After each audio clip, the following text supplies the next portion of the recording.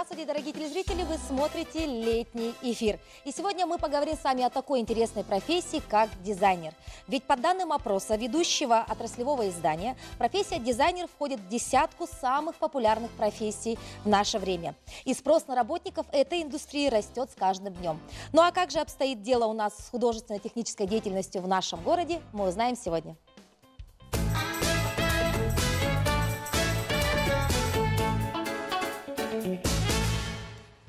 И сегодня со мной рядом находится а, человек, который знает о моде в нашей республике, в нашем городе практически все. Давайте знакомиться. Рядом со мной находится Надежда Докторова. Она является модельером, членом Союза дизайнеров Российской Федерации, а также отличником культуры Республики Саха. Здравствуйте. Надежда, расскажите, какова же обстановка у нас именно с дизайнерским искусством, модельерами? Ведь вы работаете в этой индустрии много лет. Угу. Вот какие у нас изменения, если сравнивать там, 5 лет назад и 10?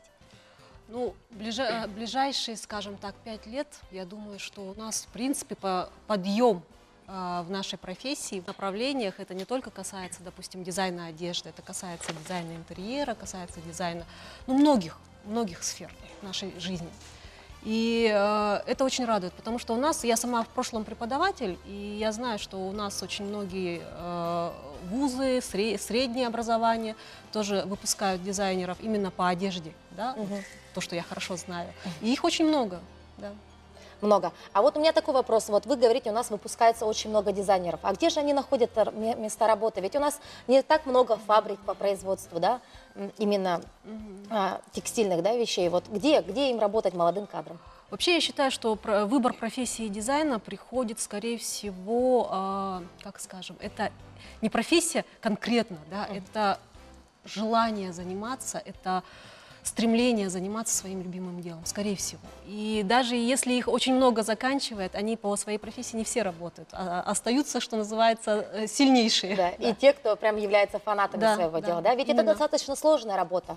Это постоянно нужно как-то усовершенствовать да, свои навыки и так далее. Вот здесь, в этом, в этом случае, я знаю, что у нас в городе есть достаточно много а, вот, ателье, да, mm-hmm. ну, вот, которые mm-hmm. занимаются, допустим, даже ну, вот, какими-то, ну, новые технологии, век 21, да, mm-hmm. за всем не угонишься. У вас есть свое ателье, да? Угу. Вот как вы работаете со своими сотрудниками и вообще по каким направлениям? Вообще, а, скажем так, ателье свое открыла недавно, но угнаться за новыми технологиями довольно сложно, я считаю. Да? Во-первых, это труд... Э, энергозатратно, это материально затратно. Угу. И сейчас э, в основном у меня большая надежда на руки талантливых швей, руки талантливых конструкторов, ну и собственную фантазию. Пока мы не наработали, скажем, такой хорошую базу, чтобы говорить о каких-то инновациях в нашей сфере. То есть у нас пока все так стабильно, без каких-то ну, Пока да, пока да, но думаю, что э, дальше мы будем развиваться. У вас а, большой опыт работы в этой сфере. Вы работали на различных международных конкурсах. Вот про, про, немножечко про это расскажите. И вот, может быть, самые яркие впечатления вот вашей деятельности. Ну, я занимаюсь своей, скажем так, профессией уже очень давно. А, у меня, скажем так, фундаментальное образование. А, участвовала я во многих конкурсах, э, и на неделю мод у нас в республике принимала участие. К сожалению, сейчас этих мероприятий нет, что очень, ну, жаль. Мне, мне угу. лично жаль, потому что творческим людям э, нужно обязательно показывать свое творчество, иначе оно бессмысленно просто. Делать стол это очень сложно. Поэтому я думаю, что в, в будущем, надеюсь, что какая-то поддержка будет, э, потому как э, ну, дизайн это необходимость сейчас. Все мы требуем красоты вокруг угу. нас. А, все мы хотим ее, и э, поэтому ну, нужна, наверное, какая-то поддержка. А так сейчас разрозненная ситуация. Все, кто во что гораст, кто как может. Ну, а у вас такое, знаете, самое яркое вот, впечатление из вашего опыта, вот, где вы участвовали, и которое, допустим, принесло, может быть, вам какой-то успех, или, может быть, вы достигли каких-то вершин благодаря какому-то конкурсу? Ну, мое самое такое яркое впечатление, это, наверное, показы. То есть, когда ты видишь, как по подиуму плывут твои модели, когда ты видишь то, какое впечатление они производят на людей, да, это как бальзам на душу. И ради этого хочется работать. И вообще, э, а на самом деле, вот я сейчас вспомнила, самое яркое впечатление, это было, когда я увидела девушку в собственном платье, которая шла по городу, по городу. и она светилась от счастья. И это было, вот, то есть я поняла чуть позже. Сначала я видела красивую девушку, и Ага. только потом поняла, что она в моем платье. И это было на самом деле очень хорошее Ну, впечатление. мне кажется, для модельера, для вас это, наверное, самая главная оценка, Да. если человек идет с улыбкой на лице именно Да, ваше, в вашем творении. Да, да, да. Ну и сейчас актуальный вопрос. Лето на дворе в самом разгаре. Что актуально этим летом? А, как профессионал, я скажу, меня всегда ставят в тупик такие вопросы, актуально, модно именно сейчас. На самом деле сейчас такое время, что модно практически все. Это я буду говорить всегда и везде, потому что а, ну, мода настолько многообразна. Сейчас намного важнее найти собственный стиль. Ну, а в плане цветовой гаммы, конечно, есть каждый год э, работают большие организации над тем, чтобы, э, скажем так, показать, какие цвета модны для того, чтобы э, люди ориентировались э, в этой сфере, да. А, ну, сейчас, на- например, очень актуальны изумрудные оттенки. Изумруд. Да, изумруд очень актуален. Очень актуальны коричневые оттенки, начиная от терракота, заканчивая там а, припы- припыленным кедром, как еще его Мгм. называют. Это очень сложные оттенки. А, также а, модно пастельная гамма, э, припыленная роза, чайная роза еще называют, да, а, какие-то коралловые. То есть цветовая гамма очень насыщенная, ее, ее очень много. Ну и тогда у меня возникает следующий вопрос. С цветовой гаммой определились. Мгм. А что же касается по поводу вот именно тканей? Какие ткани вы посоветуете носить, а, именно шить вещи, возможно, изготавливать вещи или вообще при покупке вещей? На какие ткани нужно обращать внимание, вот которые летом дышат, в которых будет комфортно? Ну, это, естественно, натуля- натуральные ткани. Естественно, ткани, э, которые, скажем так, гигроскопичны. То есть про- пропускают воздух и пропускают влагу. Иначе просто летом мучить себя э, в недорогих э, тканях, да, я, я не рекомендую, это просто вредно для здоровья. А то, что любой, любая натуральная ткань. Вот, вот Натуральная это, ткань. да, это моя рекомендация. Отлично, выбрали цвет, выбрали ткань. Следующий вопрос. Хочу выделиться. Вот хочу пошив индивидуальный.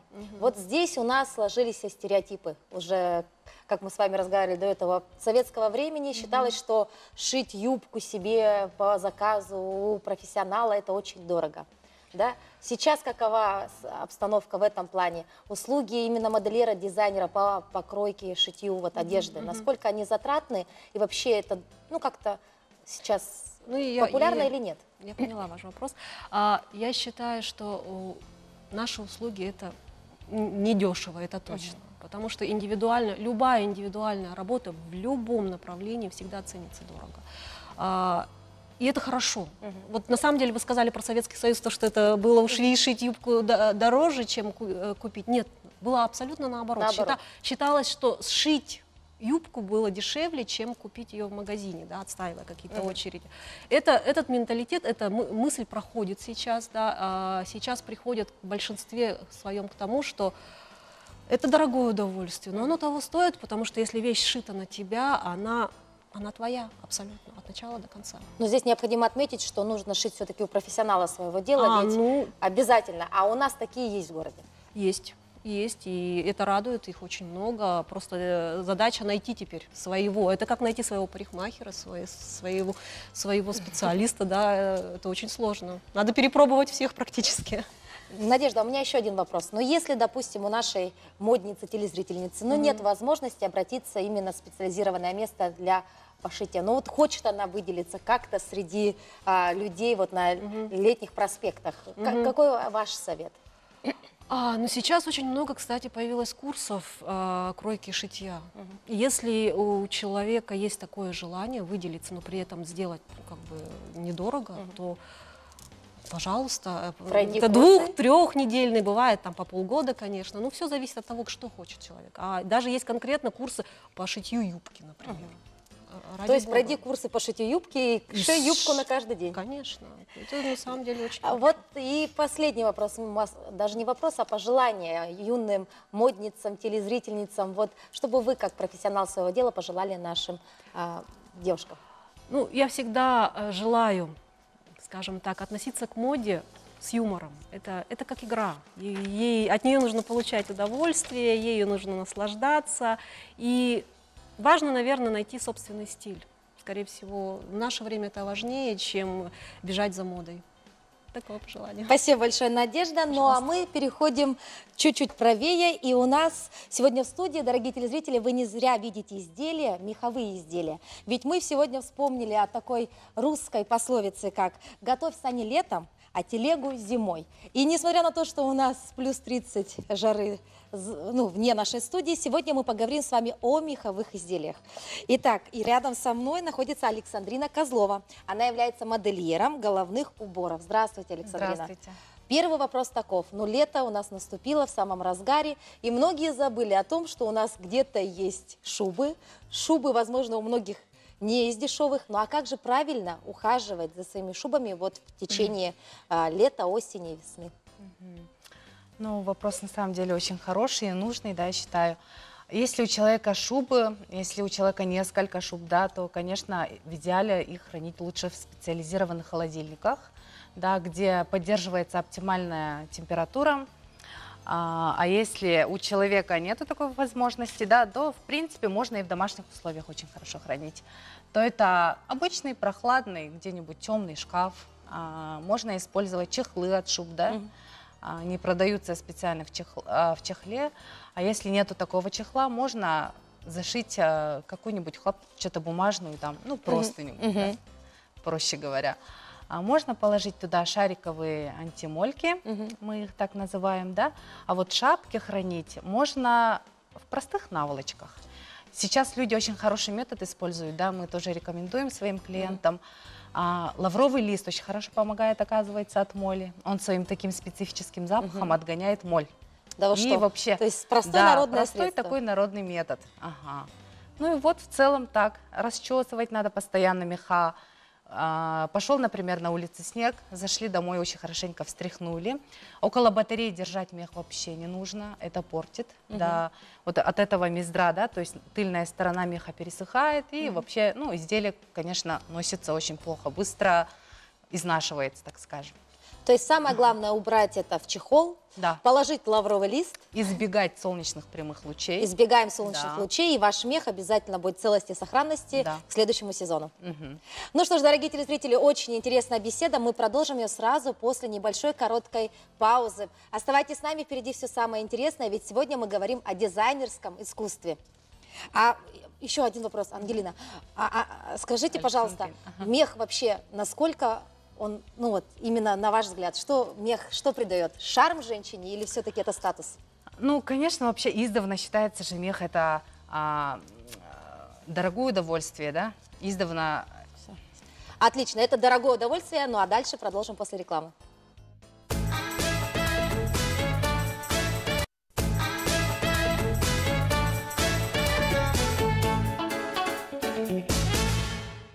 Мы продолжаем прямой эфир. И сегодня мы говорим с вами о дизайнерском искусстве. И рядом со мной находится Александрина Козлова. Она является модельером меховых головных уборов.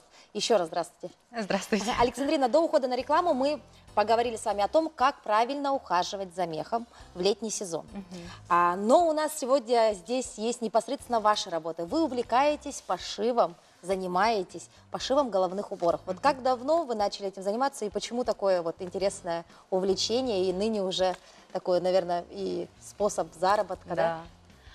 Ну, так скажем, я начала конкретно мехами заниматься года четыре назад, наверное, да, ну, если так подумать, это не такой большой срок, uh -huh. да, но в течение вот этих четырех лет я прям каждый день шью шапки.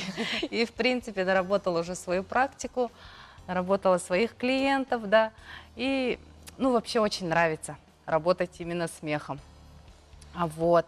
С какими мехами вы работаете? Ну, в основном у нас а, соболь. Конечно, наш красивый якутский соболь. 70% наших работ, да, мы в основном, в основном работаем заказами, это составляет соболь. 70%. Ну и остальное норка, песец, лиса, чернобурка, там, рыжая лиса, да, ну и каракуль бывает тоже. Редко, конечно, да, но бывают. А у меня возникает вопрос, ведь головной убор, ну, очень проблематично как-то выделиться с помощью головного убора, тем более в наши суровые 50-градусные морозы. Угу. Вот откуда вы берете свои идеи? Как-то ведь хочется быть и красиво, и в то же время, чтобы это было и практично, и угу. тепло. Вот как вы с этим совсем справляетесь? Ну, как сказать, да, как и у любого творческого человека, наверное, вдохновение приходит все равно не сразу, да, ну, как-то все равно там интернет, там, да, работы других мастеров, это все равно в кучу, там, все равно рисуешь, что-то смотришь, и как-то, ну, все равно приходишь к своему. У нас, например, авторские работы, я могу показать, да, Да, пожалуйста, наши расскажите, вот шапки. Ага. Вот хотелось бы показать а, очень модный наш а, новый, можно сказать, в на- нашей коллекции он модный. Это зимний капюшон. очень Он актуальная и Очень популярная вещь. и вообще, я считаю, очень практичная вещь. А, ее можно носить зимой, да, что очень важно, в нашу зиму закрывает полностью лоб, а щечки наши закрывает, и можно вот так укутаться. При этом это очень Да. стильно, модненько, да? Стильно, Что модно. находится у нас вот здесь? Здесь как у А нас в внутри мы утепляем, утепляем, используем очень хороший а, подклад, называется шерстипон, да, ш- из шерсти. А, мы это дублируем полностью флисом, чтобы это было все мягко, да. Можем использовать, конечно, более бюджетный вариант ватин, но, ну и вообще в основном такие.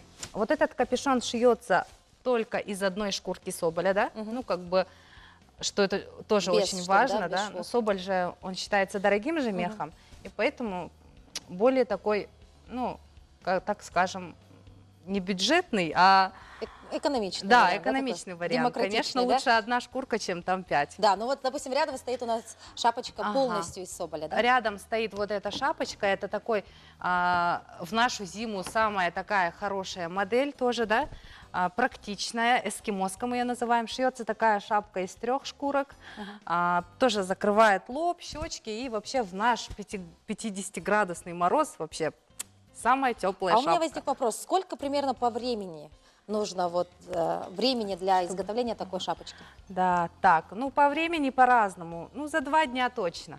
За, За два дня точно. возможно шить, да? Конечно. То есть, а часто ли к вам обращаются именно в летний сезон? Люди задумываются об этом? Или Да, все-таки все бегут, когда у нас уже минус 30 на дворе?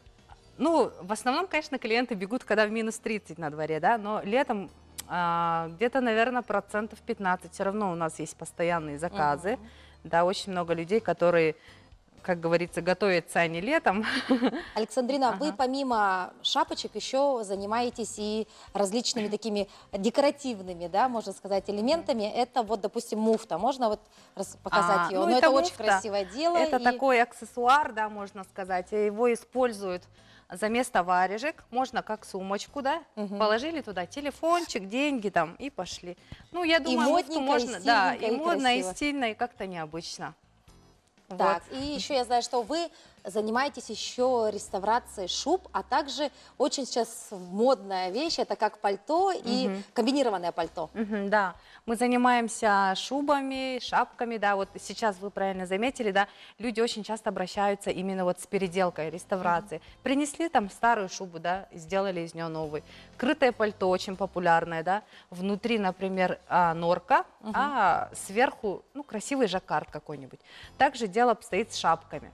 Принесли там старую шапочку какую-нибудь, какую-нибудь ушаночку, да, и перешить из нее там боярку. И вообще, ну, красота.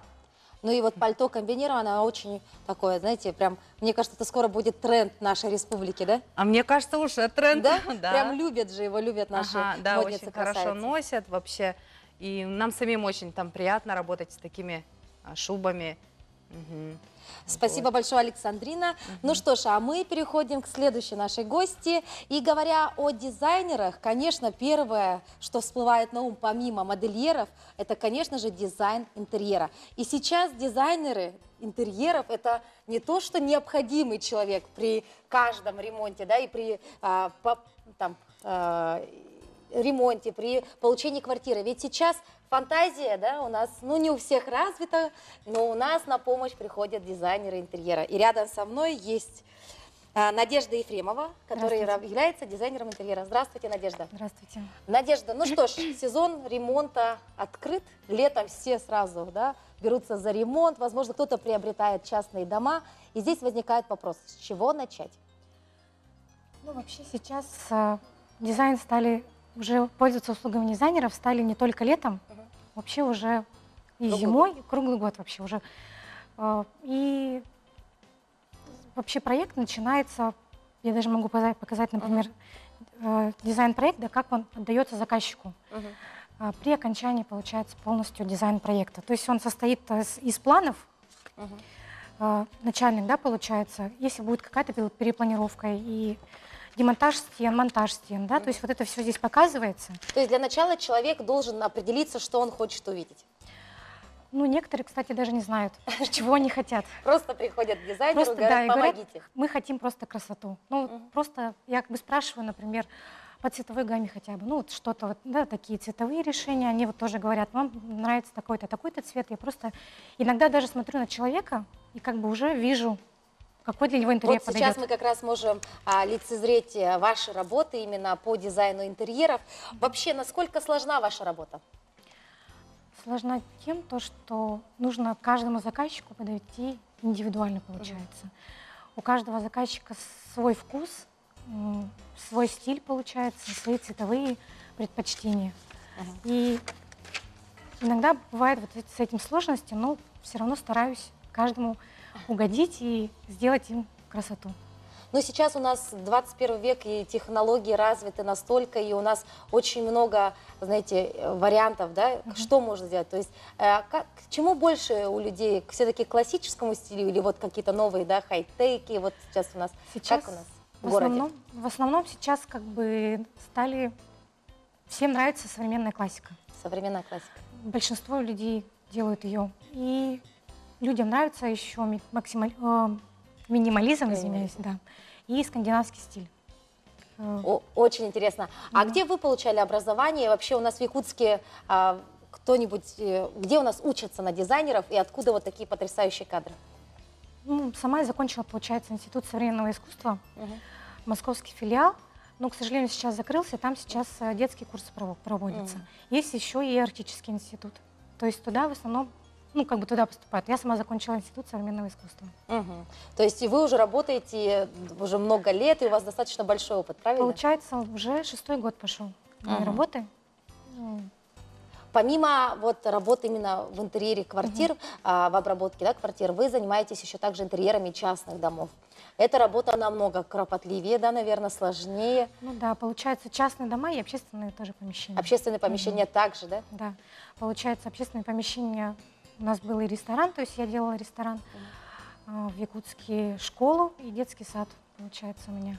Общественные а, и частные дома, там в основном, а, да, они деревянные получаются, там, конечно, Очень интересно. У сложнее. нас есть, кстати, а, фото ваших работ именно по дизайну школы и детского сада. Да, вот Очень интересно, да? И мне кажется, это настолько красиво и потрясающе, да? Ваши работы, ну, они правда радуют глаз. И дай бог, чтобы каждый детский сад и школа были, да? Ну да, я хотела вот именно для детей, вот, э, я вдохновилась именно ими, получается. Потому что как бы у меня у самой есть дети, Ага. поэтому для них, э, для детей хотела сделать вот такую красоту. А что вы можете посоветовать нашим телезрителям, если вдруг они решили все-таки воспользоваться услугами дизайнера?